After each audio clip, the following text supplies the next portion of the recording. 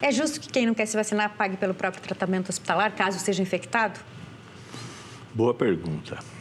É, é, é, é que eu acho que isso pode ser considerado uma doença, né? Eu, eu, eu sou um, um cara que acha que a ignorância é doença. Então, se é doença, tem que ser tratada, né? Então, eu acho que não deve. Eu acho que os caras que não aceitarem se vacinar têm que ser tratados. Vai lá no psiquiatra, paga consulta para ele, para ele aprender o que, que é vacinar e a importância de vacinar.